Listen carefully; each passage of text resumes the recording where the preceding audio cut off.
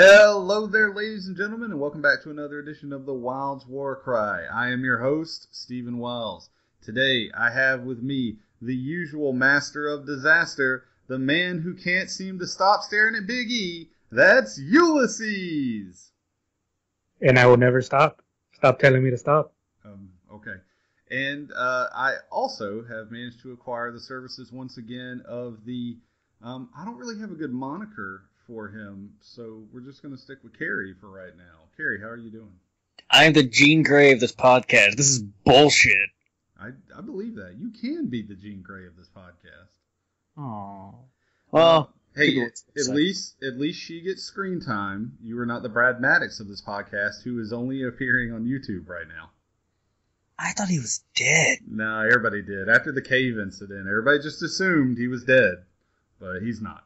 He is actually uh, doing a couple of tag team rounds, but um, you know, I, I don't think those are going to stick and actually make it to television. I know at one point he was tag team, teaming with Adam Rose, and then I believe he did a couple other matches with different partners.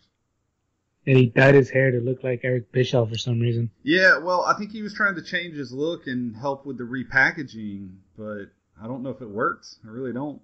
Uh, if any of you guys are curious what we're talking about, just just Google the picture. It's it's interesting. Let's talk about something that did work though, and I want to discuss NXT Respect. Uh, this is NXT Takeover Respect. It was their last show. This one was not on a special night. It aired in the normal time slot. It was a two-hour event and it was back at Full Sail University. So, one, I want to mention the stage. I actually like when they change up the stage every now and then, you know, with Raw and SmackDown, and now pretty much even the pay per views having almost the same generic stage. It's kind of nice to see something different every now and then. What do you guys think? Uh, it was cool. They, I think they just took off the ramp and made it like a solid floor and everything. But I like the backgrounds with the panels and everything. It looked good. Nothing like fancy or anything, but like how you said, a little change goes a long way. Cary, Oh, yeah. any thoughts? Oh yeah, no, it, it was it was really good. It did a really good job of kind of setting up the expectation of you know, this is not your average, ordinary, everyday show. Right. Expect weird shit. It felt bigger, so it made the event feel a little bit bigger. Mhm. Yeah. Very much so. Okay. Well, for those who may have not been watching NXT the past few weeks, we've been doing a little tag team tournament to celebrate the life and times of one Mr. Dusty Rhodes. And Dusty. yeah, Dusty. And uh, I I have to say, they did a decent job of surprising me on who made it. I thought that a lot of the teams that we were going to see in the Final Four didn't make it, and uh, there were a couple. Like I knew Gable and Jason Jordan were going to make it. I was shocked that Dawson and Wilder made it, but I have to say, I, I'm not shocked about the talent. This is something I've heard a lot of people talking about how Jason Jordan and Scott Dawson were impressing people. And these are two guys that I've been talking about how good they were forever. They're great wrestlers. The, their partners are both good. I actually really like Chad Gable. I think he's going to go pretty far. Though, uh, is is the Kurt Angle comparison a little too premature? What do you think? Very premature. All right, uh, Cary, did you get a chance to watch the the actual tournaments? Uh, I watched uh, Samoa Joe and Finn Balor's match, the the the la- the final one. Ah, okay. What did you think about them as a team? Uh, very interesting. Not a, not a team I probably would have done, Hmm. but not bad by any stretch of the imagination. Just I didn't see that coming. They, they complement each other pretty well, right. with Samoa Joe being somewhat less acrobatic than Finn Balor. Uh, don't hey, don't count that man short. He has dove through the ropes many a time. Just not Oh, no, yet. no, no. I I said less acrobatic. Ulysses, what did you think about the teaming of Balor and Samoa Joe? See now, when I saw that this team that they made these two guys a team, I saw this like, oh, they're gonna put them together just so like Samoa Joe could swerve them, so they could go into like uh, a title fight between Joe and uh, Balor. But Mhm, mhm. then I guess it kind of wouldn't make sense having Samoa Joe be a heel because he's much he's way too much like loved by the fans to be a heel at this point. Mhm. But uh, I like how I like how their finishing moves like go very well with each other, like Yeah. the muscle buster into the coup de grace. Yeah. Both of them are like we. I could go on and on about how great they are in ring. So it's a good tag team. I dig it. You brought up a very interesting question here. The tournament has taken up the last few weeks. It's been amazing. I love a good tournament. Uh, I'm happy with the results, but where do we go from here as far as who Balor faces next? Well, the best, the top heel, it looks like in NXT is like what Baron Corbin maybe, I, but he's nowhere near ready for the title. I don't think he's ready for that picture, and he may be the top heel in the sense that he has the most heat. Definitely in the tag team division, the top heels are Blake and Murphy, but uh, yeah, you're right. There's not a lot of he- of good heel singles competitors in NXT right now. Yeah, because who Uh, else is out there? There's Tyler Breeze, but Right. I I don't think he's like he was like I, I still think it's crap that he never got a one on one match. Right. I I know they did a a thing of like addressing that, but I like Tyler Breeze. Like he's really good in the ring. He is. I can't I can't think of any other heel that I like off the top of my head. They have. Uh, I'm blanking on his name. This is gonna kill me because I actually really like him. The uh, Japanese guy. Hideo Hideo Itami. Itami? Yeah, I heard that. I- I don't know if he's actually back yet because I don't actually watch NXT.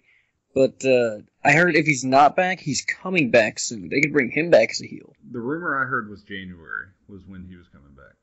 Well, that is a bit out Yeah. there, isn't it? I think he could be a decent heel. The the only problem with that is that you want your heels to be really good on the mic usually, and his English is still a work in progress. Um, Get- Get him a manager. yeah, Someone, someone bring back Mr. Fuji. I, I'd be could down see- with that.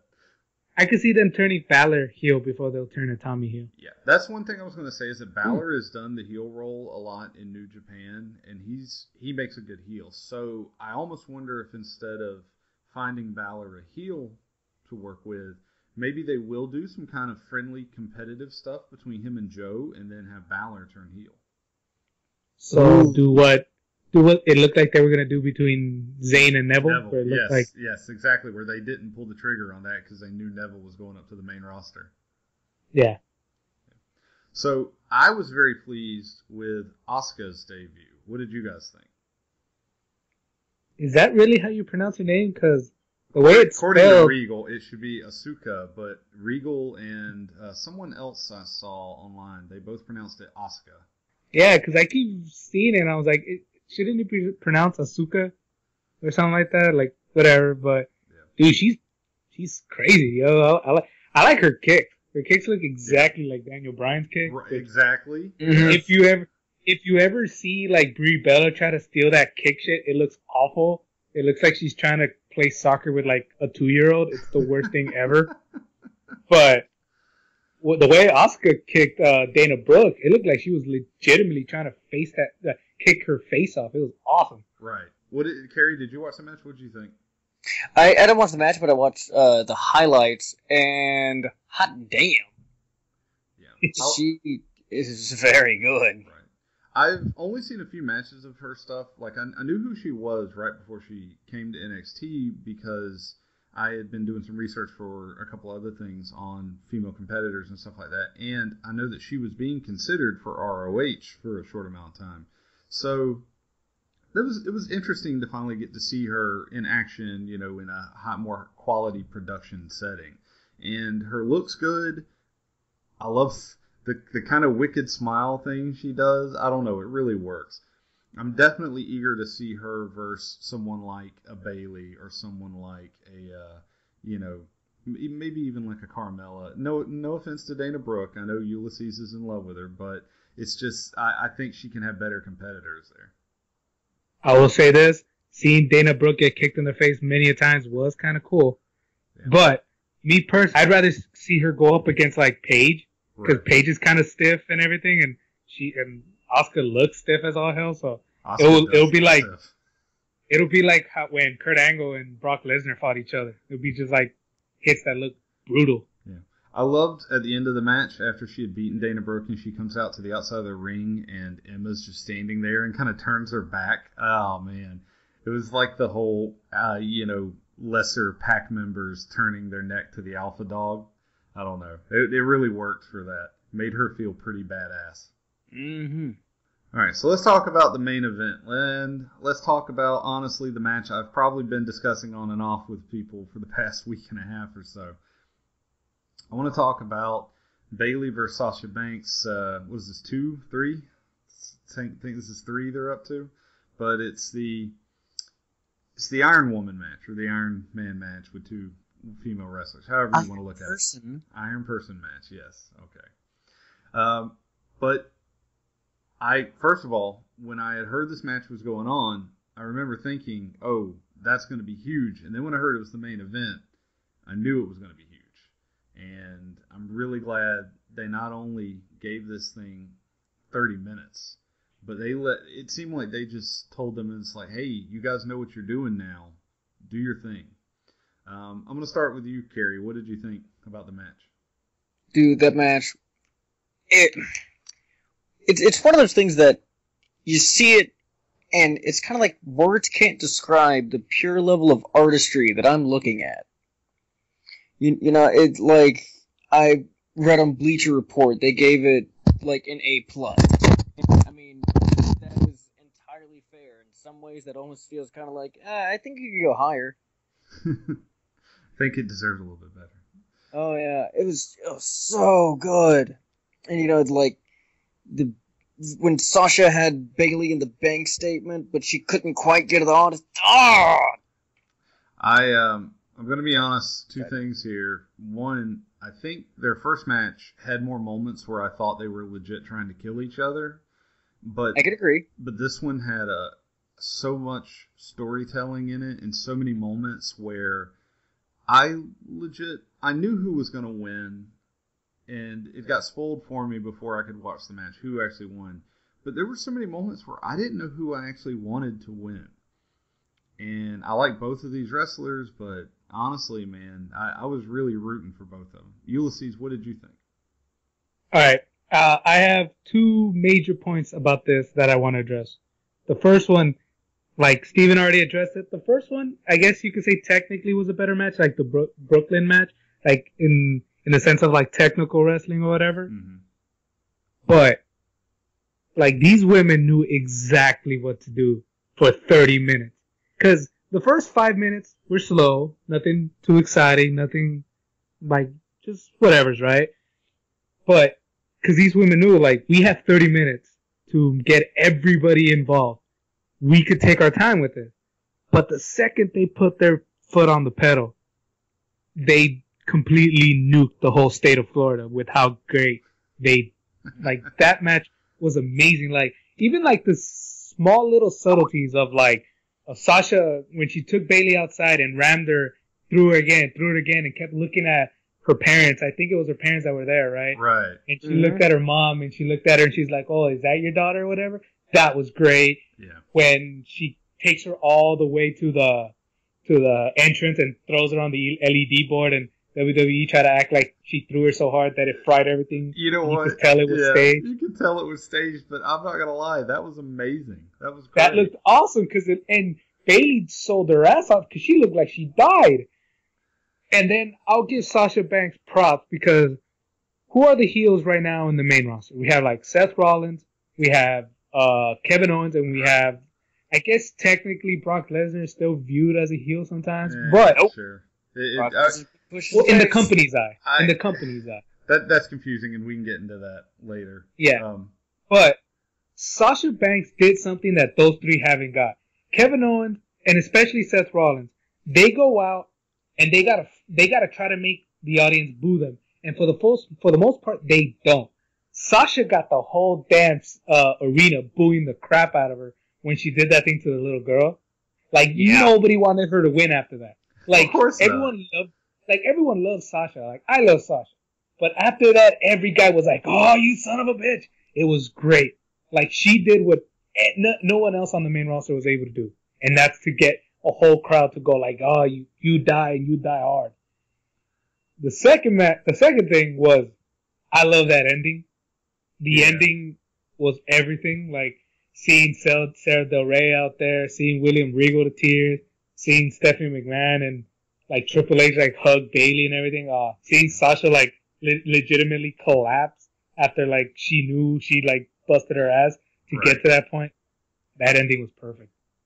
I there's a lot of backstage stuff that's behind all that. One, you don't see that a lot. You don't see like the whole back come out and congratulate everybody. And they did the thing with the flowers, giving the flowers to both women and everything. Mhm. And um, it, for those who don't know, uh, Sasha did go apologize to that girl and give her the flowers afterwards. I saw that on like Aw. I saw that on a bunch of people's Twitter because they were like, "Oh, Sasha's not a bitch." Oh, okay.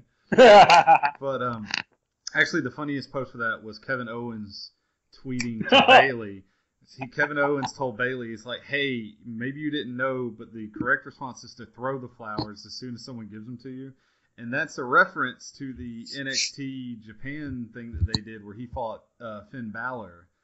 Or it wasn't an NXT event, but it was just their Japan event that they did. Brock Lesnar fought Kofi Kingston. That's right. Beast Yeah. of the East. Yeah, it's Beast of the East. And Owens, when he got his flowers, he threw them. anyway, but uh, there's a lot of backstage stuff going on. And supposedly there's this whole deal with originally Triple H, um, you know, it told them to, to just do what was natural and all that. Um, and so Sasha just, you know, she just fell and started crying. And, like, I don't know. It, it was a really good moment.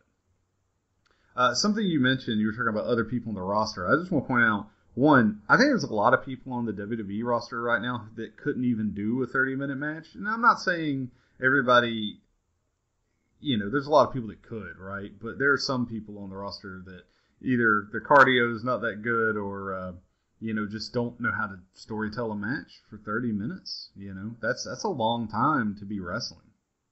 Just bring build them up back. You'll get them all in shape. Yeah. Oh God. Um, I feel really bad for those who don't know. Uh, his daughter just died in a car wreck Oh, well, late last week. Yeah. Sorry. Um, bet you feel like a dick. but uh, but no. So it was overall it was really good. Um, I wonder how long we'll have to wait before we see a main event again with not just two female wrestlers, but two just completely talented wrestlers that are going to tell a story that well. That it might be a while, but that was worth it. That was very good. Well, when it comes to women wrestlers, like the only women wrestlers right now in NXT that I trust to go like one on one with Bayley for something that long is probably like Emma and Asuka now. Yeah. I haven't seen Nia Jax. Right. Emma's a really good wrestler. Um, Asuka, you know, like I said, they don't need to rush her to the to the championship picture. I think she'll end up doing a little bit more of a program with Emma and uh, Dana Brooke. But you know, there there are a few people, and I think that's one reason why they're bringing in people like Peyton Royce, who is supposed to be very talented, the Australian wrestler, and they're bringing in a lot of new talent. But you know, they lost. Um, they lost Becky, they lost Charlotte, and they lost Sasha. And Sasha stuck around to do her thing, you know, which is great. I'm glad that she did that. But they are going to have to kind of do a little bit of rebuilding. And as we were talking about with the heels, you know, NXT overall, they're going to have to do some restructuring, but they'll be fine. They'll they'll they'll do it. All right. So I want to move on and talk about Raw. And something that you guys said uh, made me it made me think about some thoughts I had while I was watching Raw. So Seth Rollins is a heel. We we all agree on that, correct? Oh sure. So Yeah. does, does that make Kane the face when he's like attacking like everybody on the roster and choke slamming, or or is this a heel versus heel feud? Uh, I would just say because Kane's primary target is the main heel, and he's going up against the Authority to do it. You know, in a not so subtle, sneaky way. That would make him a uh, that would make him a face. Also, Kane has a history of being a face, even when he's just kind of destroying whatever's in front of him. He th- there's a difference here, like, and I know what you mean. Face sometimes just means the guy that does the right thing, but for the majority of the time, it's fan favorite. You know, Sure. like it, it's interesting how many people, if you pay attention to the crowd, um, you know, Owens gets boos, but he gets a lot of cheers as well. Like Oh, so people, yeah. I was just gonna say, so does Bray Wyatt. So does Yeah. almost every heel. I mean, even the New Day is getting cheers now. Well, come on. They are No. they are fantastic. Stop it. They I are fantastic. I don't know why you don't like the New Day, but Oh no no no no! I, I love the New Day, but I love the New Day in the kind of like, oh Jesus, I cannot believe they're doing that. Xavier Woods in the Night of Champions with the frickin' trombone every time Bubba Ray got kicked was the best thing ever. Let's let's talk about the New Day real quick and the fact that they started off the show after a um, brief backstage segment with Kane explaining why Kane was in charge for the night. The the New Day started off and it was Ambrose and Orton who hit the ring discussing how they are going to face the remaining members of the Wyatt family. Uh, that'd be uh, Luke Harper and Braun Strowman in Hell in the Cell, or I don't know if it's actually going to be in the cell, but they're going to face them that night Mm-hmm. And they ended up taking on the New Day. But my favorite part had to be the New Day coming down and talking about just joking on Ambrose about the Shield, and then ribbing Orton about all the different groups he had been in. And then I don't watch sports. I don't know really what a sport is, but they make this joke, and it has to do with somebody named Derrick Rose, and uh, I I guess he's basketball. Yes. Okay, and so Woods is saying something, and the whole crowd starts booing, and it's just like, I haven't even finished the joke yet. And it's just perfect. Like, his timing on that was perfect. Oh. Yeah. If if he's not gonna wrestle, he better be damn well on the mic. I, I don't know why he doesn't wrestle more. He did a dark Me match. neither. He did a dark match like two weeks ago. He's fit. That Magic capable. Cena was pretty good. Yeah, right. He, I forgot about that. You're right. Uh, that was actually really good. I know we're talking about this Raw, but the last Raw actually ended with the New Day standing on top of everybody pretty much. So that was pretty cool. Decimating the the face. That was pretty cool. Yeah. Um, did you guys have any thoughts about the opening match with the, you know, with the the New Day and Ambrose and Orton? Well, I wanted to just one one thing. Uh, I wanted to address the whole Kane thing that you said earlier. Oh, sure, sure. Kane, Kane is the kind of thing where like what Ric Flair is now. Like Ric Flair goes out there and he just acts like an idiot. And I guess you could say sometimes he does like heelish thing, but he's so old that the fans go like, ah, he's an old timer. Just laugh at him. I think that's what Kane is now at this point. Um, I kind of get what you're saying. I don't know if it's as much always an old timer, but you know, Flair's been around so long. They're not gonna boo Flair. Like he's he would have to go like slap that little girl from Sasha and Bayley's match for them to really you know boo him. But anyway, I, yeah. He'll probably do it for no reason. I mean, you give him a couple drinks, I'm sure. That, never, never. We're getting off track. We're getting off track. I, I will say that one thing I really liked in this match we're discussing though is the part where Orton and Ambrose were like basically taking turns stomping. Was it Big E? They were stomping and and I wanna like say- basically sh- you know trying to outdo the last one. yeah, it was kind of weird seeing like them alpha male each other for like no reason. Yeah. Oh man. Uh, so all in all, we, we had a couple of good matches on Raw. Like there was the Nikki Bella Naomi match, which what I thought was You interesting. label that as a good match? Well, I thought it was interesting how they're pushing the storyline, and this is why. Um, first of all, I didn't think Nikki Bella or Naomi looked bad wrestling. It's just their pacing was really weird. Like they just weren't really doing well with each other. But about halfway through the match, Divas Revolution. yeah. About halfway through the match, uh, Brie Bella gets a microphone and she stands up on the announce table and she starts chanting that we want Sasha Banks because the crowd was already kind of chanting it. And it looked like they were pushing the whole thing where they're trying to create a wedge between Team Bad, which I I get that, and that storyline seems like it's ripe to be dealt with because almost every time Team Bad comes out, all you hear is Sasha Banks uh, chants. So I don't know. What do you guys think? Well, I I want to say that storyline is pretty much confirmed because Michael Cole addresses that. because does uh, he- yeah. He goes like, "Oh, they want to drive a wedge in Team Bad the same way they did in PCB or whatever it is." Right. I just don't know if they're going to go that direction or if they're going to just have that um, cause Team Bad to start beating on the Bellas more or whatever. What were you saying, Cary? I was going to say, well, there's no surprise. Sasha Banks is the easily the most talented. I'm not saying the others aren't. Tamina Snuka is, but Yeah, she's easily the best, and there's the WWE would be really stupid. So 50-50 to not, you know, address the fact that the fans would want to see Sasha Banks. Tamina Snuka is very talented, and I actually think Naomi has improved immensely, and she's doing great in the ring. Her last couple of showings don't show that as much, but um, no, I, I think Sasha Banks out of that, that trio, you know, she's definitely got the most p- current potential, so I could see that. Out of the whole main roster. Just, like, just just the whole main roster. Just the whole So- main roster. so- so men next- and women. So next pay per view, you want to see Sasha Banks versus Seth Rollins? Rollins? I, hey, I guarantee you she'll give him a better match than Kane will.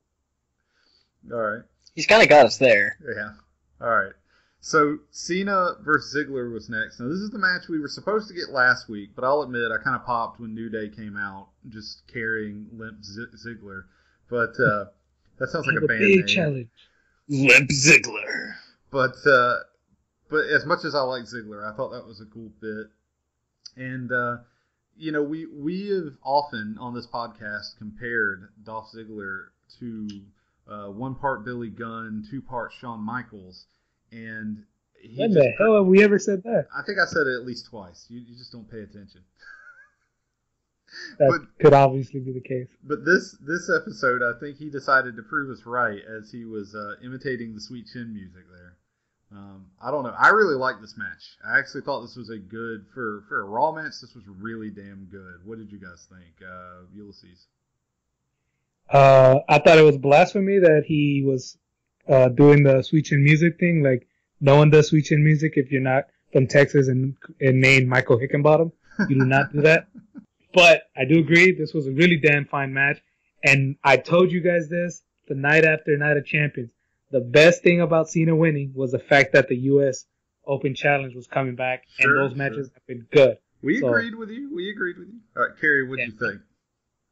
I, I like the match, and as much as a huge fan of Shawn Michaels as, as I am, and I am, uh, I, I- I don't think it's blasphemy at all for him to use Sweet Chin music. I mean, he's he's used the super kick for ever. Yeah. You know, the tuning of the band was new, and I could absolutely see why some people, you know, people who are purists would think, "How dare Dolph Ziggler?" But you know, You isn't didn't it do it. Do it in like Texas. Don't do it in Chicago. uh, fair enough? You- You're really stuck on this whole Texas thing, man. Well, I mean, you know, that's where Shawn's from. Yeah, I know. I He's know. from San Antonio, which is a horrible Michael place. Let me ask you guys a question though. At the end, Dolph Ziggler raked Cena's eyes. Now, there's two, two there's two parts of this, and Mhm. I'm gonna out myself here because I did the research.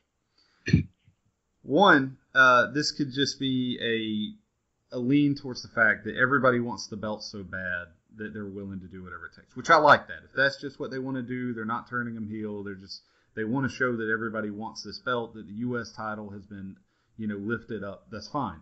But the Mhm. other thing is the big speculation. Mhm. Supposedly in Total Divas, there's a storyline going on where Dolph Ziggler used to date Nikki Bella or some bullshit like that. I, I'm not I'm not watching it. I was just reading about it.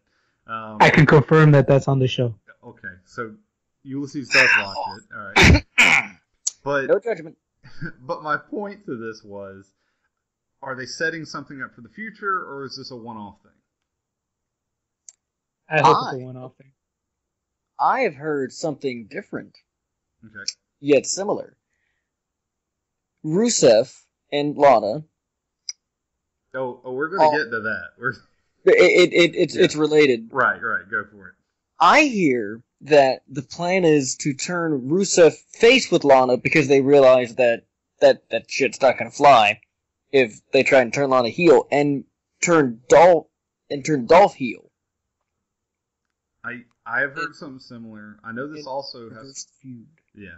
I know this also has a little bit to do with for those of you who may not know. After Hell in the Cell, Cena's going to be taking um, time off, Mhm. and so that means that uh, there are rumors going around that he's actually going to drop the belt to Dolph before he leaves. I don't think that's going to actually happen. We'll see. It might, but um, you know, a lot of these things can come into play. Ulysses, did you have any final thoughts on Cena Ziggler? Um, if they turn Ziggler heel, I guess I'll be okay with it because for the most part, Ziggler's face run has been lackluster as all hell. Mainly because the way he wrestles doesn't really come off very babyfacious. Like he does a lot of heel like things, even as his character, he does very heel like things. So Sure, sure. I guess he's better. But if I see another damn Ziggler Rusev match, I now react to the same way people react when they hear it's like Orton Sheamus or Cena Ro- Orton. It's like I just get so bored, and it's like I don't want them ever seeing each other ever because their storylines are bullshit and their matches aren't that interesting anymore. I am. I Ziggler is one of my favorite wrestlers that's currently going, but I am also tired of Ziggler versus Rusev. So I don't know. Cary, are, are you? Do you still have anything left in that storyline? Uh, um, okay. This this this would be out there. They bring back Nikolai Volkov, right? That's pretty much all I got. That's pretty much all I got. That's the only way. That's the only way to make me go, okay, I think this is worthy of another. All right, so, On. that's enough. Speaking of stuff, I totally zoned out on by accident.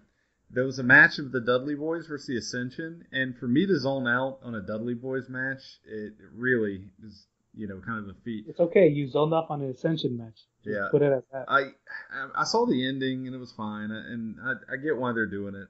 You know, I'm I'm actually thinking, I don't know. I almost don't want the Dudley Boys to win the titles off of the New Day now. I know a lot of people think that's what's going to happen at Hell in a Cell, but I kind of don't want it to happen now. The way I see it, the sooner you get it on the Dudleys, the sooner you can take it off. of them. Uh, It's fair, actually. All right, so Sheamus for some reason teamed up with Wade Barrett, and they had a match uh, with. Excuse me, King Barrett. You can't call him oh, Wade. excuse me, sorry, King Vince Barrett. McMahon's gonna track you down and Yeah. shoot you in the neck. And you're both wrong because it's King buried. Remember. Hey, he's coming back. Uh, oh my but- god. against Cesaro and Neville. And I actually kind of enjoyed this match. Oh, just from a pure wrestling standpoint, it wasn't bad. I I think what I felt bad about was that I didn't care about the actual story if there was one to it. I just enjoyed the wrestling. Yeah. The only story that I could think of is that apparently Gravity still hasn't remembered about Neville, but somehow King Barry's elbow remembers. yeah, That's all I know. the elbow That's no. the only thing I care about that match. That and there was a lot of elbows given around because, like how you said, like Cesaro's offense is like 95% elbows at this point. Yeah, well, sure. I see it. So the other match that I kind of want to gloss over real quick, so we can get to what we've been wanting to talk about, was Roman Reigns versus uh, Braun Strowman, and this was just a really good setup for their match. It's built up for him versus Bray Wyatt. I like that they managed to let Roman win, but not make Strowman look weak. And the weak is one thing that man will probably never look because. Uh, Damn. When you just see him throw someone like I don't think people understand that Roman Reigns is a big guy. And when you see someone throw Roman Reigns around, you're just like, oh, okay. Um, Cary, do you have any thoughts on this particular match and leading up to the feud with Bray Wyatt at Hell in a Cell? I do. Uh, the match is good. Uh, it, it's it's very.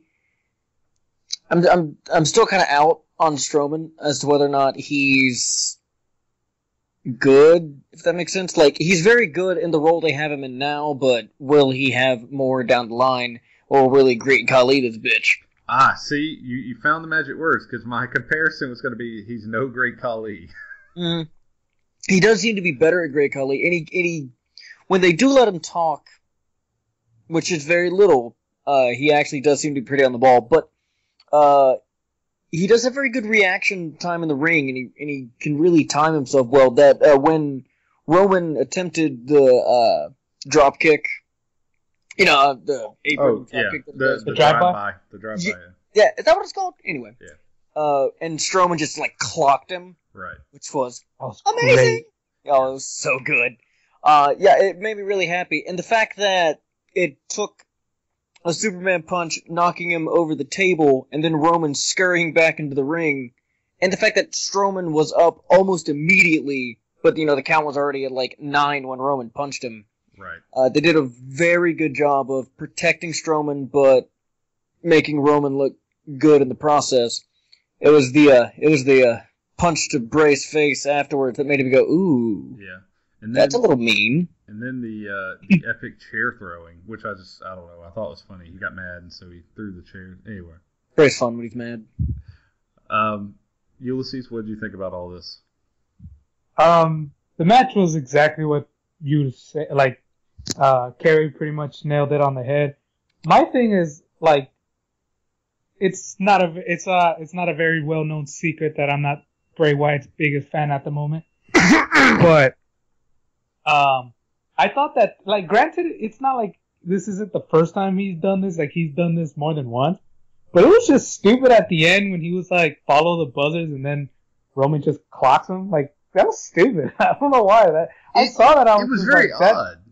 It- yeah, I was like, I saw that and I was like, that doesn't help anybody. Like, it makes it makes Roman look like oh he sucker punches idiots and it makes Bray Wyatt look like an idiot. Well, Like, that's that's the only way it came out. I think I think the idea there was instead of Roman giving a getting the last word with a verbal retort, he was gonna get you know one with a physical, and it just I don't know. It felt felt like he didn't need it. It just it, that part didn't need to be there. Yeah, there's nothing that the writers can't go. Hey, this was awesome. Let's fuck it up at the last minute. All right, that's hard to argue. Speaking of that, let's talk about the match that started a lot of questions and a lot of cursing, uh, at least from where I was, and that was Rusev versus the Ryback.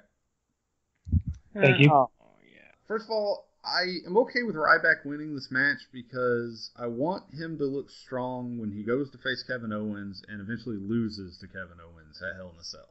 So that part I'm okay with. Um, it's a little weird seeing him wrestle in a giant pink uh, onesie. I don't know why. It kind of distracted me. Match aside, what this all leads to is them addressing the real life engagement. For those who may be listening and don't know, Lana and Rusev, their real life personas, have been dating since their NXT. They met in NXT, I believe, and they've been dating. And so they bought a house together a couple months ago, or not long after WrestleMania, and now they're engaged. Natural progression of uh, relationship stuff and all that, yada yada. However, if you haven't been watching, the big storyline is that Lana left Rusev for good reasons, Because Rusev got a little bit abusive. and then. Summer Rae ends up joining Rusev, and Lana joins Ziggler. Lana hasn't been on TV recently because she hurt her, injured her wrist, and had to have a massive wrist surgery. But for some reason, now, after last week's episode where Summer Rae comes out and says, Rusev, will you marry me? And he, you know, kind of puts it off and says, Hey, I'll marry you once I have gold around my waist. It's like when I have gold around my waist, you get gold around your finger. which I thought was great. Like I actually was a little bit interested in that. I was like, oh, okay, so they're putting this kind of thing to make her work harder towards getting him a belt. And it actually seemed to work because she came out and was like, oh, I got you a match with Ryback, and if you beat the number one contender for the belt, that'll make you look good in getting a match for the belt. Makes makes logical sense, right? Very much so. But what Three minutes later. Wait, what makes sense about addressing their real life engagement? I, I don't. I know. Because TMZ was talking about it. yes, I know. God, I hate TMZ this. ruins everything. I'm telling you. At least half of everything. Yeah. Uh, here's the thing: Vince McMahon has a hard on for incorporating real life stuff into WWE plots. I don't. I, I get why. I get the whole idea that if TMZ is covering something, you have a, a greater chance of bringing in, you know, more More viewers, eyeballs to the more program. clicks. right? And for those who don't know, like Raw's ratings have been like abysmal the past couple of like almost two months now. So maybe he thought this would. Ha- I, I don't know. Um, uh, Cary, I'll, I'll let you start. What What do you think about all this? Okay. Th- this is why this is just wrong to me. Because initially we start out, we have Lana and Rusev, and, you know, she's the. Whatever her name is, to the whatever her name is in Rocky 4. I haven't seen it. Brandon talks about it a lot. Right. Anyway. She she is the she holds all the power in that relationship. Rusev does things because she tells him to. She crush. Uh, he crushes because she says Rusev crush.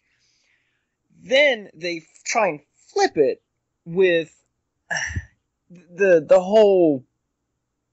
Rusev was the one that did the anti-America thing. We we touched on this the last time I was here, Right. Yeah. and it just it, it was just everyone was just kind of like, oh, but um, nah. I, I- we don't have any footage. Okay, fine. I guess we're not. We're just gonna ignore reality. That's fine. Sweet. But and now, because like they actually did a little thing. They have have an article on WWE.com where Lana talks about why. Uh, and uh, self-preservation. He talks about how she grew up in the Soviet Union and he grew up in Bulgaria, and the winters get very cold and dark, and they do what they had to do to survive. And uh, yeah, which is interesting. But further interesting, she doesn't actually have bad things to say about Dolph Ziggler, so they might not actually be continuing that feud if there is a God in heaven.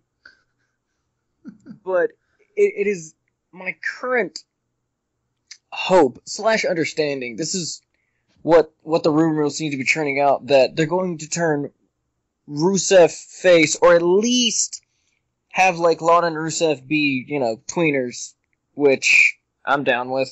I'm down with anything that gets the Ziggler Rusev feud over faster. Okay. Okay. Ulysses, do you have any thoughts on this? TMZ ruins everything. Lana Yeah. kind of sucks in my opinion now because she's so boring. She went from being a badass woman to being like Ziggler's like just arm candy. So that's Yeah. kind of stupid. Like I hate when they turn like it's similar what they did at Paige where they had women who just came off looking tough and badass, and now they just look dumb. And it's I hate that. Like I can't stand that. Well, not not to drag them through the mud anymore, but we do often speak about how the writers ruin good things. Um, also, I, I, I hate to say this because Ziggler, man, I have talked about Ziggler's charisma, his just natural presence, and I've talked about how great Lana is, and then for some reason, I guess you really can just put two people together and them have next to no chemistry. Yeah, that's weird. Maybe it's because Ziggler was like, that's a dude's girlfriend, and he's big and he's mean, and I don't think I want to. Mm. That's a good point. So in storyline, they currently have him going after Lana, right? Who in real life is, uh, you know, it's Rusev's now engaged girlfriend, and in Total Divas, they have him going after Nikki Bella, who is in real life John Cena's. Like, does does WWE? This is not the first time though. Yeah, when yeah. he was when he was with uh, AJ, AJ was dating CM Punk at the time. right, yeah. Oh, Is man. Dolph Ziggler a homewrecker? I just That's think, his I new think the writers don't know what to do with him unless he's wrecking a home. See, there we go. Uh, uh, we we found his WrestleMania angle. He's gonna start hitting on Stephanie. Oh, oh man. Oh, No, dude, this is no good. wait, I'd watch that. I'd watch a feud between Dolph Ziggler and Triple H. I would too. Shit, yeah. It'd be better than most of the things right now. Okay, okay. Um. so this is just bad. I'm gonna I'm gonna try to give them another week to figure this out before I completely check out. But I think involving the the real life romance has just overly complicated everything. Um, for those who Yeah. didn't see it, Summer Rae actually tells Rusev off. She leaves. Uh, next, we had a match with Owens against Kalisto, which um, it was pretty entertaining. Once again, you have a bigger guy throwing a little guy around, and then Kalisto is very good at making people, you know, he sells well, so he makes people look good, and uh, that was kind of entertaining. Um, it's thi- this uh this match just shows that like for the most part, WWE still has no idea what to do with their NXT talent when they call them up. Because man, the Lucha Dragons are awesome, and they haven't found a single thing for them to do. And if, and I swear to God, if Michael Cole says the Lucha Dragons are just so much fun to watch, I'm gonna punch him in the throat. That's the most annoying thing to hear. Oh, what It's was the what was the thing that uh so so during the episode Michael Cole said this line. It's like Um, everybody's just waiting for Sheamus to deliver. And so many people tweeted that out like, you're damn right, Michael Cole. We really are. I thought that was hilarious. Sorry. Yeah, it was just so annoying, and I'm I'm gonna start. I'm gonna create the the so much fun drinking game. So like, so we can make sure that match goes on first, so at least everyone could have a nice buzz for the end of Raw. Be like that. There it is. I found a way to make Raw viewable. Oh god. Oh my god. Kevin Owens is awesome. I love his music. Kevin Owens is awesome. Uh, real quick, the next match was Paige. I'm sorry, it was Paige on commentary, but it was Becky and Charlotte versus Alicia Fox and Brie Bella. And Paige's commentary was the best part about that. Oh, hands down. Yeah. The best part actually was when they when they showed the title card saying that the match was coming back. They had uh Charlotte and Becky Lynch, but they just said CB. That was the funniest. thing. Oh yeah, Yeah. It's like they're they're they're nobody. Don't worry about them. They're just CB. I CB, am. you can hear them on the radio. I, I am actually glad that they've involved Natalya in this because I like Natalya as a wrestler, but it Mhm. just it feels like they're still building to whatever this is going towards. Yeah, man. I was so happy for like 20 minutes with this whole Divas Revolution thing. I'm like, Shay, Charlotte has the belt, Charlotte has the fucking seriously. God damn it. Motherfucking fucking shit. God fucking damn writers. The good news is I don't think there's a chance that they'll give it back to Nikki Bella. Not this early. There's that, but I'm like, can't we have Paige stay a good guy for a little while longer? No, Yeah, Paige is better as a heel. Paige is way better as a Paige, heel. Paige is better as a heel. I agree with that. However, love with her. however, I wanted them to do a little bit more with the whole group dynamic before they broke it apart. But whatever. I I don't know. And I know I, saw, I read the interview. Paige actually was one of the people who thought the whole Divas Revolution was getting stale, which you know, there's a lot of people that would agree with her. So we'll see how all No, that goes. and then this is the thing that's the most important thing. You see Raw and whatever, and let's just back forward. We talked about it. NXT Respect, the women's match. Bayley and Sasha didn't go in there talking about a Divas Revolution. They didn't do anything. They just went out there and proved that there was a revolution going on. They don't need a TV show on the E network to talk about it. They don't need two segments on Raw to talk about it. They just went out there and proved to everyone saying, yo, what we do in the ring is the shit. Watch. And what, and this whole team thing, they keep talking about it. They don't prove it. They don't show it. That's the worst part about Okay. Mm, yeah, I, I, I can see it. I, I see where you're coming uh, from. Again, that- that's just one of the things you can't. I don't blame anyone in that scenario for that. What that really says to me is when Vince McMahon eventually gets abducted by the aliens that dropped him off, uh, the WWE will be in good hands because Triple H knows how to do exactly what you just said. Instead of just being like, "There's a Divas Revolution." Ah, okay, neat. No, Triple H tells them to go out there and make a Divas Revolution. Whoosh. Go. All right. That's how I imagine his meetings go. Other than the aliens theory, uh, let's actually talk about the final match. And I want to address the. I don't know why, but lately is has every lumberjack match ended with some giant brawl. I, I mean, I know it's just right for that, but uh, this Yes. this just seemed like it was kind of awkward.